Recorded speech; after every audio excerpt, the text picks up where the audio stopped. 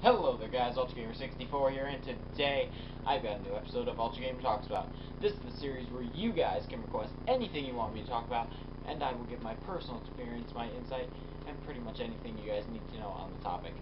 So, this week I've chosen, chosen to talk about social anxiety, and basically all that comes with it, and how to possibly deal with it, and what I've been told by other people that tried to help me, because I do have um, in some cases minor social anxiety, and in some cases major social anxiety.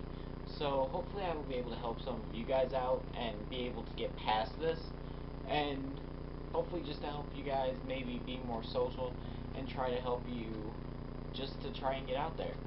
Um, before we start talking about the topic, I would like to point out that if you notice a difference in the quality and audio quality of this camera, um, I'm trying to break in this new camera, um, trying to see if it'll work for Ultra Gamer Talks About, Ultra Impressions, vlogs, mini vlogs, anything that happens on this channel. Um, I got a new camera, and I'm trying to see how it works, um, how it might integrate into the channel, how I might be able to use it properly. So if you guys notice a difference in any type of quality, then that is why. And this is the first video to be tested with this new camera. But, without further ado, let's get into the topic. So, social anxiety is a very, very crippling and kind of a crappy thing to have. Um, it can be as extreme as keeping you from going outside, and it can be as minor as keeping you from maybe not wanting to go to school for a day. I mean, there's different levels of it, and it's kind of hard to pinpoint your level. It's just kind of what you personally feel comfortable with and what you personally don't. So just try to keep that in mind. Like, social anxiety is different for most everybody. Just those different levels and different things that make you feel uncomfortable. Um, I'll give you some examples with me. I hate going to school. I do not like to be around my classmates or trying to socialize with them. I don't like being around those people. Um, my family, no problem being around them. I love being around my family. Any family, um, even from cousins. I, I'm fine with being around family for some reason. Even if it's a cousin I've never met. Um, I would be perfectly fine around them. But it's just those people that I don't really know and that I will be around a lot that kind of scare me and don't make me want to socialize with them say, for example, well, this is actually happening, um, this upcoming school year, I'm going to a new school. From my old one, it's like this big school, and it kind of has member schools or whatever. But I'm going to a new school, and there's going to be a lot of new people there.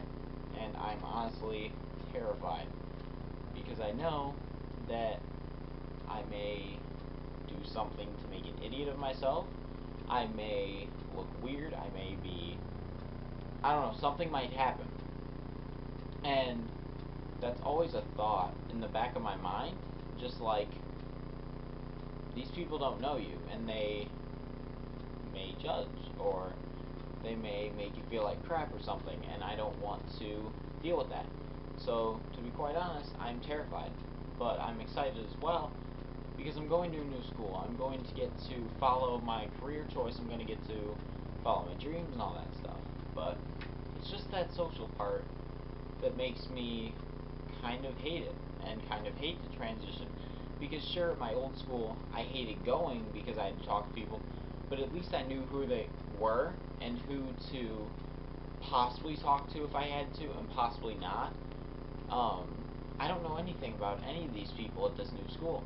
So that's kind of hard to try and determine, okay, maybe I should talk to this person if I have to, maybe I shouldn't, I don't really know. I've got to get that read on people, you know?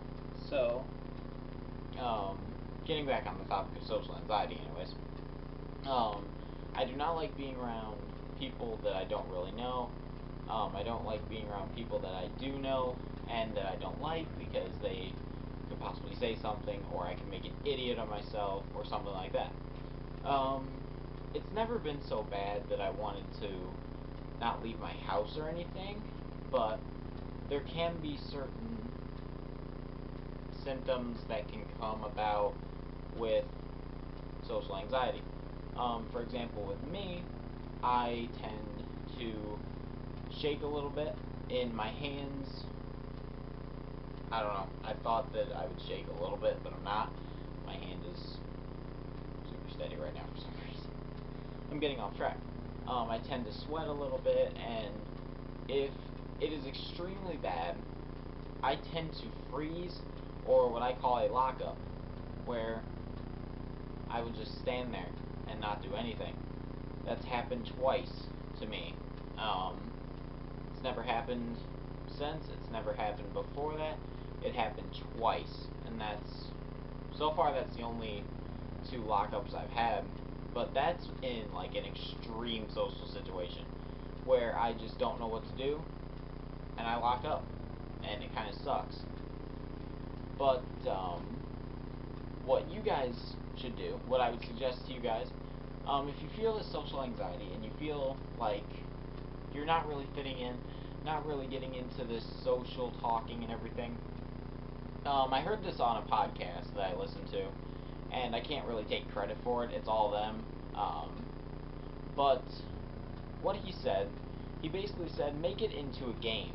And that's what I do with some things in my life. I just make it into a video game. So socializing and talking with people, make it into a sort of game. Go up to them, talk to them, and maybe give yourself 10 points, or 10 experience points, or 10 um, gold, or something like that. Record it on a sheet, and when you get, say, 100 gold, which would equal talking to 10 people, you get a reward. Or you get 100 XP, and you get a reward, and then the next level, which would be level 2, you get, say, 500 XP. Talk to 50 people, or something like that. Um, just something simple to try and trick yourself into socializing. I'm honestly scared to do this. I've never tried to do it. I probably should, because I need to learn to socialize, but I've always been too scared and not really willing to take those steps because I have become comfortable with social anxiety and I've and I just kind of live with it, you know? I've had it for so long and I've hated socializing for so long. And it's just that thing I've gotten comfortable with it. But I don't want you guys to get comfortable with it. Because I will admit, I've missed out on a few things that I would have liked to do um, because of my social anxiety. I'm not going to really list them off unless you guys want to know. But I have missed out on some things that I kind of wish that I would have done in a way. I don't know. Just kind of middle ground. But, um, getting back on topic, just try to make it into a game and try to talk to people as much as you can. And don't be like me. Get out there, do something new, and don't lock up. Now, to finish out this story, I'm going to tell you guys what you should not do in a social situation. This was my second and latest lockup, and it was the last one I had. And I was actually doing a vlog at the time. It was at the Midwest Media Expo. And I got there the first day. I met One Shot Girl, which was friggin' awesome. That was amazing. I went to the different um, flea markets. I went to a few panels. I played the arcade games and everything. But that night at 11, 11 p.m., um, there was this rave that was supposed to go on. And it lasted until like 2 or 3 in the morning, I think. And it was in this giant, like, ballroom. And it was insane. Um, I got in line, and it was like 5 to 10 minutes before the rave started. 5 minutes went by. 4 minutes went by. As the minutes go by, I started like getting more nervous and more scared and more terrified of being in there with nobody because I was there at the hotel with my dad. I mean, it's not like I can drive or anything and go there on my own or go with friends or anything. So I was completely alone because it was 11 p.m. My dad's asleep by this point. He was in our room just kind of chilling out. And I'm sure he doesn't want to go to a rave with a bunch of teenagers. So I was completely alone, and four minutes ticks by, three minutes, two minutes, one minute. They open the doors, and I see all these people just kind of line up next to my line, and I realized there's a lot more people here than what I thought there was. Like, this hotel is huge. More people are in this hotel than I thought there were. And I was just standing against the wall, and I locked up. that was so terrifying to me. Just thinking of being in that ballroom during a rave with all those people around me, and then potentially, like, saying something to me or trying to talk to me or just doing anything. That terrified me. So I locked up and I was in lock mode for like a minute and 30 seconds, two minutes. I didn't move. I didn't talk. I didn't do anything. Like, the line was moving slightly. I didn't move. I didn't move with the line. I just stayed there. And when I finally got out of lock mode, I just went to the arcade and spent an hour and 30 minutes just playing games, trying to calm myself down. And it was a kind of, it was kind of a bad feeling. Bad thing to do. So don't ever do that, guys. Do not ever do that. Um, make sure you own your social anxiety and throw it out the window. Don't keep it around. It sucks. Trust me. Um, in some ways, I think it's too late for me, but I know it's not too late for you guys. So definitely try to talk to someone, um, anybody. Try to talk to anybody. Try to socialize as much as you can. I know you guys can do it. But anyway, that's where I'm going to leave this video off. If you enjoyed it, then please be sure to leave a giant like. And remember to keep on gaming. Stay amazing. And I will see you guys next time.